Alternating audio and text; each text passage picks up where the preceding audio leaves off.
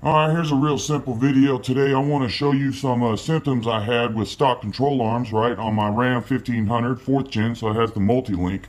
Alright, I had some noises and stuff, and uh, I'm going to give you the symptoms and the solution. So this is what happened. I got a bunch of noises in the rear end. I kept thinking it was always something else. I kept thinking it was the brakes, alright, the differential, the springs, the shocks, you know, I could never imagine it was the rear control arms, but that's exactly what it was. All right, um, hard acceleration, hear a clank. All right, um, deaccelerating, right, coming to a stop at a red light or a stop sign, feel a clank, right, like you got a bump in the back. You know, um, this is something that a lot of people overlook. All right, I want you to check this out.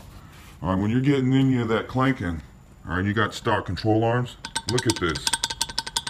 It's all of them. And you got eight of them. Right? Eight of them. So there's your little clanking right there and the squeaking noises. All right, these are like press fit in, so I want you to check this out. All right, mine were actually rotating, literally rotating in there. All right, now at first it was only when there was moisture in the air or after a wash when they got wet Alright, so it makes sense. The water was kind of lubricating it, helping it move under the weight of the truck, but since water's not that great of a lubrication, it squeaked. And it pissed me off. Alright. Now this, uh, the, the, the control arm noises is so overlooked. I've seen so many people, you know, they take their truck in, they get the differential looked at, they get basically the whole thing replaced, the noise is still there, they get the brakes done, the noise is still there, Get the shocks done, noise is still there. Check the springs, noise is still there. Alright, it's because it's the freaking control arms. They suck. Alright, it just, it's just the way it is. Alright, hot damn. And this is what I did. Alright, I replaced mine at first with Spohn, which is a big mistake. Alright, and after that, alright, I got to Core. Core is some precision chit right here. No clanks, no noises, no nothing. I mean, this is the real deal. You will hear nobody complain about these arms. Alright, they are not made like the stock ones at all. And if there is a little bit of movement, there's grease in there. Alright, so it doesn't squeak. Alright, the mounting. Alright, like I showed you over here. Right?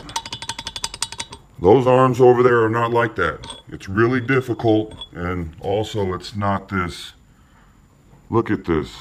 It's like they took a flat piece of steel and they just rolled it around, right? So that's not even really a perfect circle. The ones on the core are machined, and it's sort of difficult to get the bolt in there, right? So you're not going to have clanking. Even if the core arms were loose, right? You still wouldn't get that clanking. Alright, and they're not press fit like this. So you're not going to get the squeaking. I mean, think about it. Alright? You did your brakes. Squeak still there. You did your rear differential.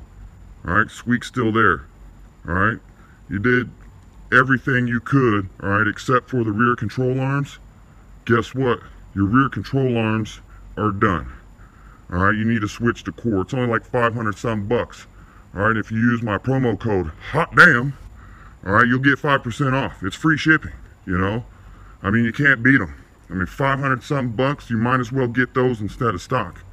All right, you, you can get them black if you're not looking, you know, to be all flashy and whatnot. You can get them powder coated black. It ain't going to cost you no more. All right, powder coated whatever color you want. You don't have to have a lifted truck. You can have a stock truck, a lower truck, it doesn't matter. All right, just so you know. All right, if you if you get these noises in the rear, don't overlook them control arms.